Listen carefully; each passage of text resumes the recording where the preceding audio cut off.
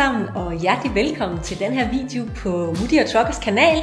Den her video er en reklame for Panayotis, og det er simpelthen fordi, at Naja er blevet spurgt, om hun vil være med til at designe en, måske to, jeg ved ikke, måske tre konfirmationskjoler til øh, sæsonen 2025. Det er lidt specielt, for i dag er det faktisk den 19. marts 2024.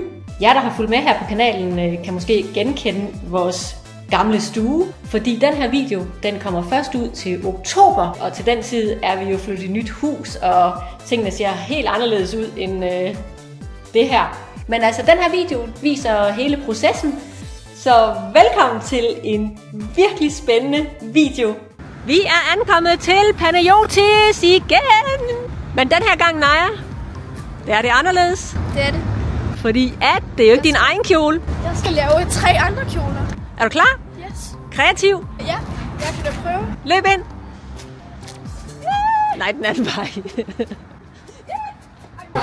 Jeg har også været lidt i tvivl om, fordi at denne her, den bliver blonde, så jeg har været lidt i tvivl om, sådan, det kun er ærmene, der skal være blonde, eller om det er sådan, hvad der vil se bedst ud, om den her vil være uden blonde.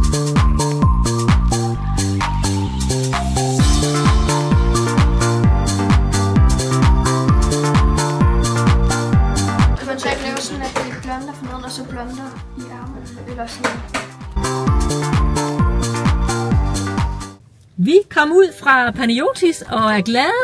Ja, meget glad for resultatet. Ja, du fik virkelig øh, fundet nogle gode forslag frem, synes jeg. Det, det er lidt spændende, og det kan I godt glæde jer til. Og fra i dag af, så går der altså cirka kun tre uger, til vi får prototyperne. Så det er virkelig, altså det går sygt hurtigt. De er virkelig gode til at arbejde hurtigt ind i Paliosis. Det må man sige. Altså sådan, sådan har det været alle gange. Det har virkelig bare gået hurtigt Mm. i alle situationer. Fedt! Men nu er klokken 18.29, så nu skal vi ind og have noget mad. Vi skal på grillen, og vi skal have pølsemix. Det skal vi. Vi skal have hotdog. Skuldben fri.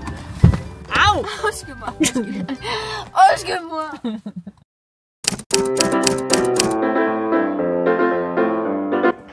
Der var den der, Wow. og så er der med blonderne for neden, ikke? Ja. Og enkelt herovre. Og med ryggen sådan der. Ej, er Så var der denne der. Wow. Så var der den der, hvor vi snakkede om, at det var sådan enkelt for Ja. neden, og så din egen kjole. Ja. Det er Din første kjole. Mm. Øh, blandet sammen med Ej, den er også flot. Ja. Ej, den er godt nok også flot. blonde på ryggen. Jeg kan ikke godt det her, men sådan både blonde og ikke, så er det sådan stadig er min kjole. Ja. og det er jo selvfølgelig også lidt svært, når de ikke er øh, Ja. på. Nej. Ja. Den er, Det er cool. Ja, den er virkelig cool. Så jeg kan se det på. Nej, den er sød. Men den er helt klart pænere end på bøjlen. Det jeg Jamen, det er de alle sammen. Ja, det er de. Og så Ja. uden glimmer. Ja. er det. Uh, det er nogle gode nogle, du har lavet, Naja. Ja, det er så. Ja, det kan jeg godt se. Det giver også. altså Ja, det gør det. Wow. Det er simpelthen så fint. Det er mig over den, ikke? Ja, Jo. det giver virkelig noget ekstra. Wow.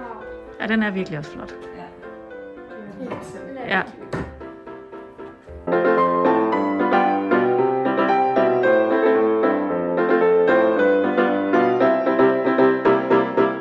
Nå, Musse, vi Ja. er kommet hjem og Det er vi. fra Panayotis. Ja, Og det gik jo faktisk ret godt. det gik mega godt, det synes jeg.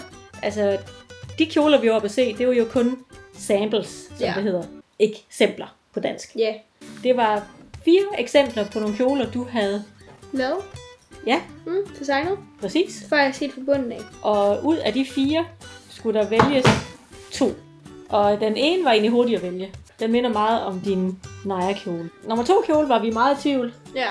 Og det endte jo faktisk med, at vi ringte til to livliner. Både min veninde Melina og Leila. ja. I kan i hvert fald godt glæde jer, fordi alle sammen er mega fede. Ja. Og det er i hvert fald nogen, jeg godt kunne finde på at gå med, hvis jeg skulle holde konfirmation tre gange. jeg sidder ikke så rart, så... Jeg sidder faktisk meget dejligt. Nå, jeg tror, vi cutter her. Det er faktisk lang tid siden, at vi har filmet den her vlog. Nu er det blevet tid til, at vi igen skal til Vejle og kigge på kjoler, som Naja hun jo har været med til at designe. Yes. Og på lørdag sker der virkelig spændende ting. Mm-hmm. Der skal du deltage i et kæmpe konfirmationsevent. Der skal jeg altså op på en scene og præsentere min kjole foran en masse konfirmander. Åh, uh, nervepigerne. Vi har snart nogle klip, hvor Naja hun går ind ad den her dør, og nu får vi endnu et klip Go girl. Ej, øh, hej. Ej, det er dine kjoler. Ej, Nej, for den pæn. og den er så pæn. Ej, nej, nej. Hvor er det fedt. Og jeg elsker, at der er et, sådan et bælte på alle sammen. Det er virkelig fedt. Det her, det var jo min første kjole. Og så er det sådan, at blonden, den går sådan lidt igen, så det alt sammen, det får sådan en rød tråd. Nu er jeg så i gang med at få sat hår, fordi at jeg skal være med i et fotoshoot, hvor at jeg skal stå ved siden af nogle piger, som har mine kjoler på. Ej, hvor spændende. Mega. Og så skal vi selvfølgelig også have nejer i kjolerne, og det glæder jeg mig rigtig meget til. Uh, det bliver næsten ligesom, om du skal konfirmeres igen.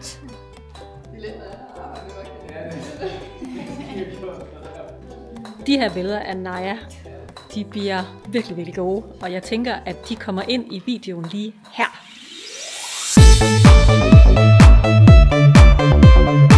Her står der nogle meget, meget smukke piger, som er hoppet i Najas kjoler. De er simpelthen så flotte. Altså, wow.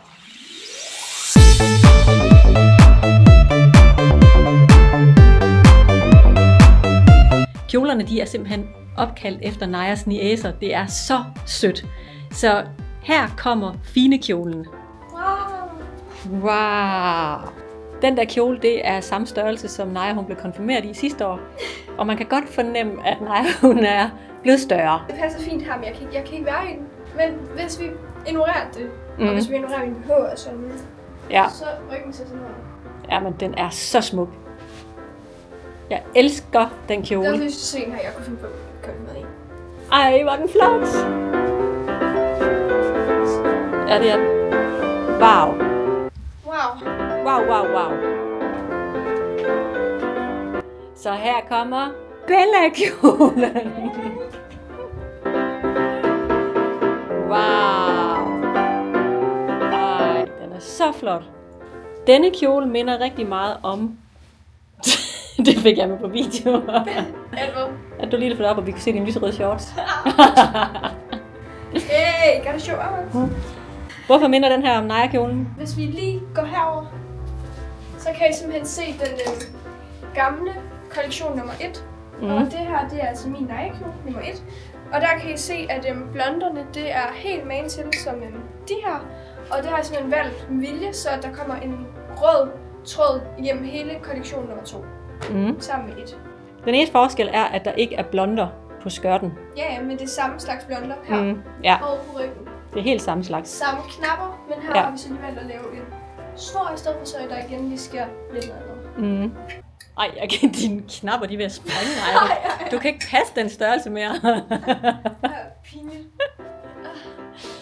øhm, kan vi se den med høje hæl? Ej, ej, ej. Uh. Uh, han er. Hold da op. Okay, de er for store. Ej, hvordan kan folk gå i det? ja, det ved jeg heller ikke. Uh, nu ikke bræk benet, Naja. Men, pas nu på. Jeg kommer Ja. ja. til det her til modshorts. ja, jeg tror, det er meget godt, du bare skal have tennissko på lige om lidt. Men det der, det var altså Bella-kjolen. Ja. Jeg vil altså bare lige sige, at du snakker meget med dig selv.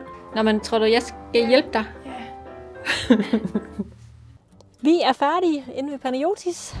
Det gik godt. Kjolerne var så smukke. det var de. De var virkelig pæne. Godt designet, Naja. Tak. Når det her kamera bliver tændt igen, så er vi til konfirmationsevent her i Vejle. Naja, vi er landet i Vejle igen, igen, igen. Men den her gang er vi jo på en ny lokation. Vi er ved Vejle Musikteater. Det bliver jo crazy i dag, Naja. Det bliver mega fedt. Du skal ind og stå foran rigtig mange mennesker. 1200 mennesker. 1500 mennesker. Oh. Og du skal ind og fortælle om dine kjoler. Ja. Far er med i dag. Woo! Ja, ja, jeg skal ind og se kjoler. Det skal du nemlig. Mm. Så er vi kommet ind i det mørke backstage-område. Herinde hænger alle kjolerne. Wow. Er det alle de kjoler, der skal vises i dag? Yes, det er modellernes øh, omklædningsrum, det her faktisk. Okay. Uh, Ej, hvor er det flot. Hvor er det fedt. Jo, Hold det er så op. fedt. Ej, hvor er det fedt. Ej, det er flot. Kan vi lige få en catwalk? Hold da op, du gik hurtigt. Din tur, trucker. Rigtig, du skal sådan rigtig svinge med hofterne.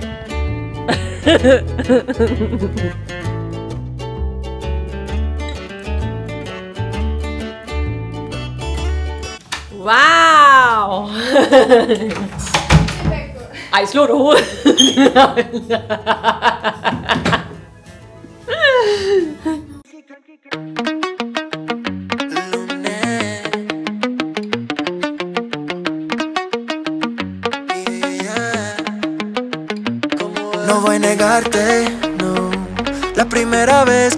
la hiciste, baby, quería matarme. yeah. Pero ahora no. Så er det ved at være Najas tur. Nu bliver de præsenteret, de tre piger her.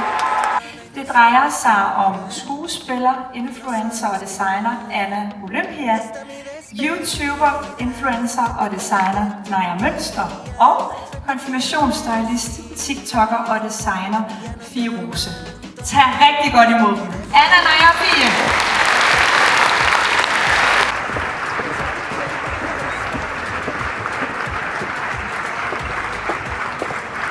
Naja, og jeg er 15 år, og jeg har lavet konfirmationskjoler i to år nu. Her er der sådan min Naja.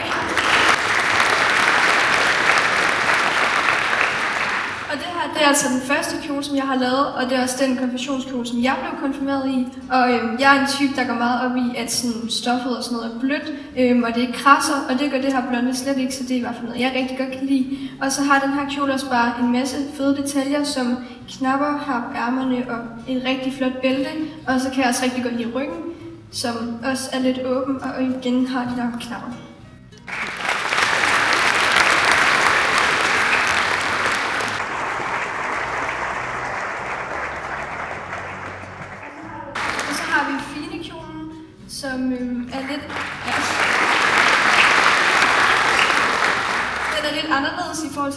Kjoler. Den har nemlig tre lag, men det kan jeg rigtig godt lide, fordi det gør, at den ser lidt luftig ud. Øhm, og så har den også nogle lidt luftige ærmer. Øhm, så den er lidt anderledes i forhold til de andre. Men igen, så har man bæltet og ryggen. Så kommer blonden så også igen, og så har den en lille sløjfe. Og så til sidst, så har vi Bella-kjolen. Og jeg kunne rigtig, rigtig, rigtig godt lide min nejkjole, så derfor blev jeg nødt til at lave en, der mindede om igen. Det her det er bare, hvor der ikke er blonde nede på nederdelen. Men øhm, altså minder den egentlig ret meget om, alligevel så det er en meget anderledes kjole. Og øh, den kan jeg egentlig også bare rigtig godt lide. Og igen samme blonde og samme bælte og ryggen minder også bare lidt om alle de andre.